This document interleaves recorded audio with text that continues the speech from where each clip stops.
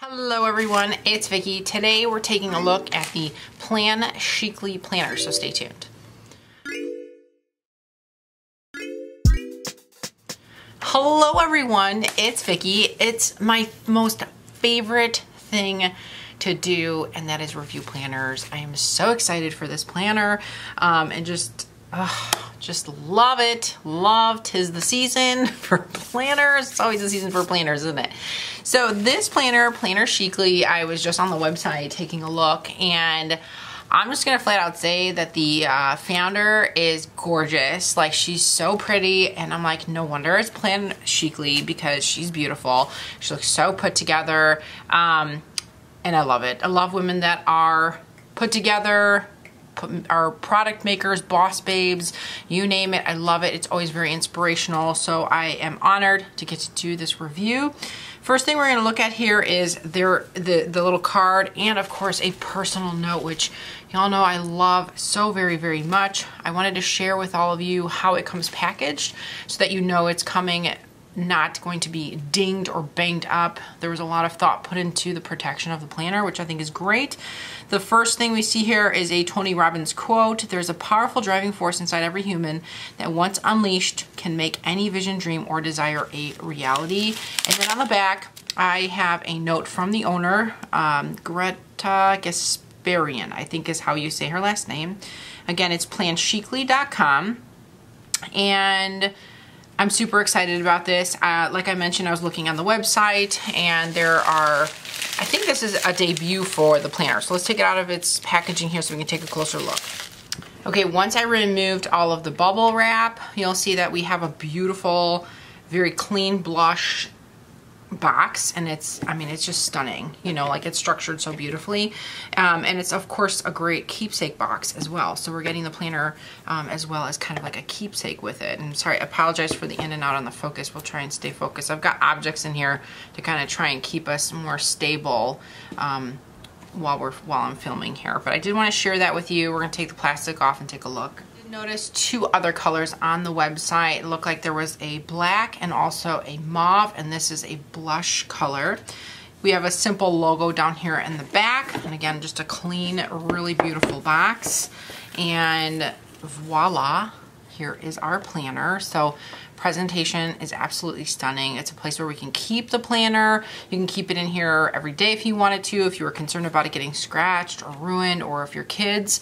I did read on her website that she was concerned about her son getting to the planner. So it is a great way to keep it protected if you do have it in the box, or even for storing for, um, you know, the future. If you want to shelve it, you can have a great way of protecting it. Or for some of us planner folks, it's a great place to store your washi or your planner supplies. So you have like a matching, you have your planner and then you have like a storage box. So if you want to put your pens in there, you want to put your washi tape in, your paper clips, all that stuff, and then you can kind of plan around it and plan on the go. So I do appreciate beautiful packaging.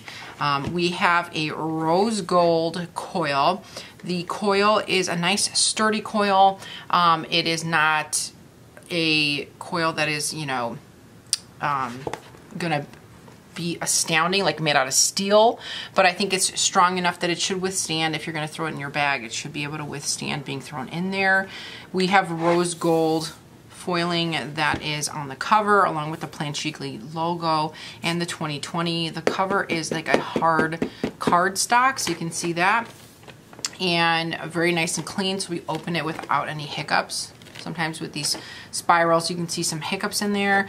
I do love the play on all the pink colors. So if you're a fan of this and you love that blush, you'll see the rose gold, the two pinks. So you have a lighter blush color and then like a little bit more of a mauve color, which I love. And I do love the color pattern with the uh, tabs. That is a really nice touch. I do love that. So we have a little pocket here, throw your receipts, all kinds of things you may want to keep in your planner. Here are some cute stickers. I do love these. They go with the whole theme of the kind of plan chicly. So you have really pretty stickers. Like you have a little road trip, chicly road trip. You've got your little luggage in here. Cute tassels. That could be for a party or like anything beauty, glam, birthday. So we get another sheet. That's really cute. How adorable. Anniversary. So we get two sheets of stickers. I like that they're there. Again, no hiccups with the paper, which I do like. I apologize for the in and out, but it's because we're on white, and white tends to throw off the camera a lot. So I'm gonna kind of try and slow it down to see if we can stay in focus here. Uh, we have a information sheet. And again, just taking a look at these tabs, I appreciate a couple things. The tabs are protected by the cover. So if you noticed, they weren't sticking out when the cover was closed because the tabs perfectly align with the edge of the cover. So it's very chic, very clean, very professional looking. If that's something you're going for, like if I was bringing this with me to work, I'd feel like it's got a very clean and professional look to it. The inside here has a little kind of note to us as customers from the Plan Chicly team. Uh, we have 2020 as an overview as well as 2021, which I really find very important in planning. You really need to take a good look and have that with you at all times. You've got your holidays here, which is again very, very helpful um, to be able to see these and use these as a reference whenever you are planning. Um, I think it'd be nice to have tabs on them. I'm going to say that, but I think it's really nice to have them here. We've got some goals, a bucket list, so places to go, to do, to read, to DIY, to buy, and to eat. I do love this concept. I think it's a really nice way to set the tone, set the mood for the year. I'm a big proponent that if you write things down, they tend to happen versus them kind of sitting in your head and not happening. So this is a great space to just write it down and then you can go back in and develop these ideas in perhaps your um, Omni journals. For myself, it's my com commonplace book. That's really what I like to do a lot of mind mapping and trying to figure things out. That's where I love to do this. And this kind of just walks you through your goals. So you've got one goal, two goals, and the third goal, and just kind of walks you through it. You can draw out your goal or maybe do like a mini vision board if you wanted to. So you can kind of maybe put some pictures in there. Like I last year did Disney World on my vision board. I really wanted to make that trip happen. So if I did like a little, you know, Disney castle in there or Mickey Mouse ears or Minnie Mouse ears, whatever, that could um, be there as well. Then we have a contacts. I do like having a few contacts in my planner. There's um, always some need for that or if you really wanted to you could always technically use this as a password keeper. I do that as well as with an old address book. You have notes and thoughts so we've got a few pages. I think that's really interesting that it's in the front. We usually see this notes and thoughts in the back and we have this all in the front here which is interesting. It's a different little setup but nothing wrong with that. But I do like how clean it is. If you felt like there weren't enough pages in here I always recommend using post-its and just use your post-its in these sections.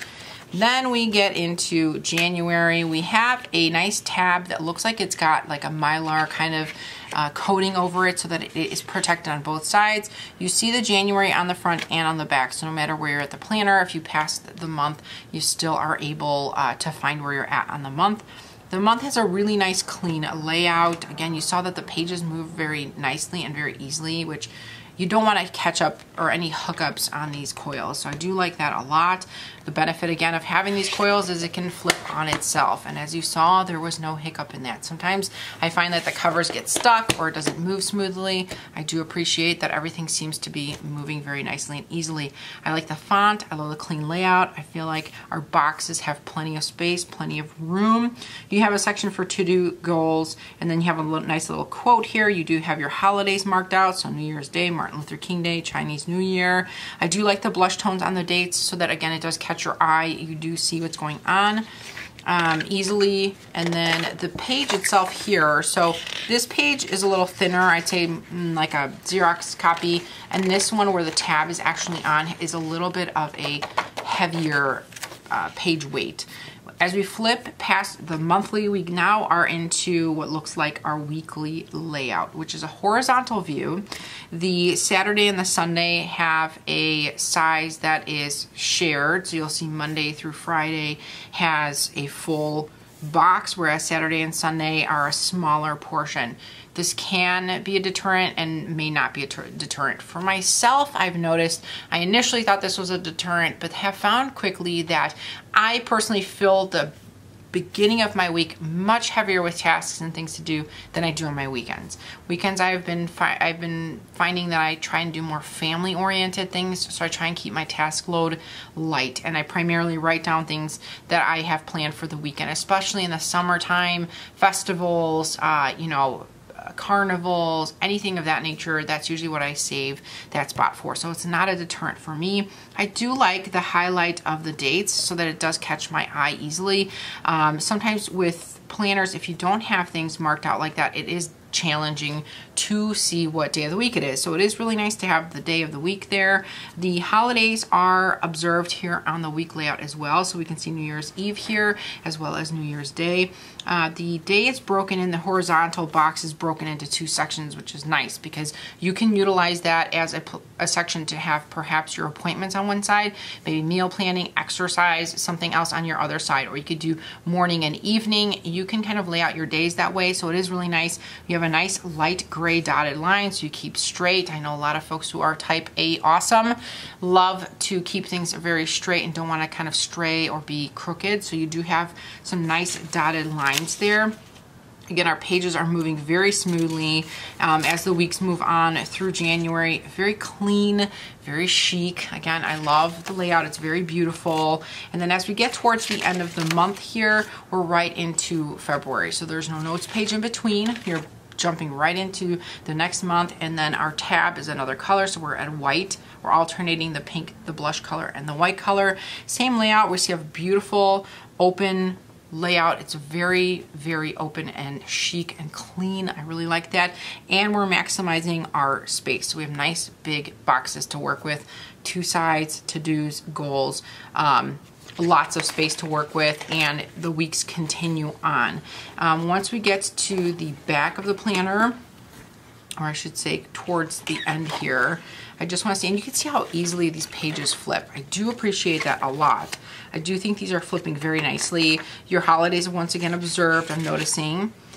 And as we get to the back here, I did notice on the website that there are perforated pages for your grocery list. So this is something different that we're seeing here and is a really nice touch. So as you're planning, perhaps you're doing meal plans, um, whatever you may, however you may come to getting a grocery list, you can write it all in the back here. I personally always use a post-it note. So here you actually have built-in perforated pages so that you could just tear them out and take you take them with you to the grocery store, which is really nice. So if you're at work and you've got your planner with you and you wrote out what you need from the grocery store, you could just perforate, you could just fold it over, rip it out, and it goes right with you into the store. So we have several, oh, and there's meal planning on the back, so that's awesome. So as you meal plan, you can just flip it over and do your grocery list. Well, that's really nice. I like that. That's really cute. So you have a meal planning and grocery list on the other side. That's awesome. And of course, if you didn't meal plan, but you just want to throw a grocery list together, you could utilize both sides. Just because something says grocery, or excuse me, meal plan doesn't mean you can't use it as a grocery list. So we have several sheets of this. This would last you for quite some time, unless you're grocery shopping like you know, every single day of the week. But if you're going once a week or even twice a week, that's plenty for you to go off of. And then we are at the end of the planner. So great use of space. We're not over using space. So this isn't a heavy planner. It's a nice light planner. It's a really nice and chic planner. Um, I personally have been finding that the simpler my planners are, the better because I've been doing a two book system, which more on that is coming out for One Book July. And yes, I did drop that. A lot of questions about One Book July. It is coming back. I'll have more details for you moving forward. But of course, before we leave today, before I give you a conclusion and overview on the planner, we have to do a pen test, don't we? So let me get a few pens. We're gonna do some pen testing and have some fun and see how the paper is gonna do. Okay, I'm actually gonna pen test here on one of the January pages because January has come and gone already. I don't mind doing that. So I've got a TWSBI Eco and this is a broad nibbed fountain pen and this actually has diamine ink in it that is a beautiful shimmery ink. So I'm going to use this here and we're going to test it out on the paper. It's a little bit of a wetter pen. And it is a TWSBI Eco. I misspelled that, but you get the gist of it. So it's not a super wet pen. Um, the paper, I can tell you right off the bat, is not going to be super, super duper um, high, high quality. Oh, but maybe it did really well, actually. Never mind, I'm going to retract that and take that back. Um, I'm going to try now, this is one of my favorites You can get this from Cloth and Paper. This is the Sarasa Dry Airfit Grip, and this is in a 0.5. This is one of my absolute favorites because it doesn't smudge. So this is the Sarasa Dry Airfit. And these are awesome. Very chic as well, very beautiful. I am then gonna go in with just your standard ballpoint pen. So we just got like a ballpoint pen because most of the time you're just kind of jotting things down quickly in your planners. I also have a TWSBI Mini in my white and rose gold, one of my favorites. This one has a fine nib on it. TWSBI Mini, it's got a second to get going because I haven't used it in a couple days. And then I also grabbed a brush micron just because it's pretty wet and I'm just curious. Okay, so we're going to put like some pressure on there just out of curiosity. And then of course a Mildliner, which is a relatively popular um, highlighter. Oh, and you know what else I'm going to do? I'm going to do Tombow because I know that that's a real popular thing for people to use as well in planners. So we're going to go with a Tombow and this really beautiful kind of like olive color. Okay? So that's going to be our pen test. Okay, and we'll see. I think it covers a wide range of pens and highlighters, excuse me, that tend to be pretty popular in the planner community. So drum roll, let's take a look and see. And I gotta say, wow, actually, there's actually no shadowing um, no bleed through at all on anything. And in fact, I am so impressed. I'm to take a really wet, um, I'm to take a really wet fountain pen just because I'm shocked. I thought that was to bleed right through all of that, especially that Mildliner. I'm to test it really. This is a broad TWSBI um, All-Star. This one is very wet. And it's got beautiful ink in there. One of my absolute favorites to write with. I gotta say, this is handling way better than I thought. I'm gonna bust out a Sharpie because I didn't think it was gonna, but look at that. That didn't even bleed through either. I'm shocked because this doesn't feel, honestly, any stronger than like Xerox paper, but it's handling way better than I had anticipated. I'm gonna be brutally honest about that because I did not think this paper was gonna do very well and I am very impressed. What if we do a brighter Mildliner? Let's try a brighter Mildliner just out of curiosity. So it's like this orangey, like a vintagey orange. I'm really pressing down too, just because I want to really see how much we can push this. Holy cow, there's no bleed through. Look at that. There's no, like, I have to make sure there's not like another sheet in between. I am absolutely flabbergasted that there is nothing coming through this. I was thinking everything was going to come through this. I'll be honest with you guys. I thought the paper quality was not going to be high, but it looks like I'm completely wrong. Um, I'm ashamed of myself for even judging it right off the bat, and it did great. Wow, it did really great in regards to a pen test. Wow. Look at that. I'm to show you that one more time. So here it is. Everything we used. And wow, right? Are you guys shocked? I'm shocked.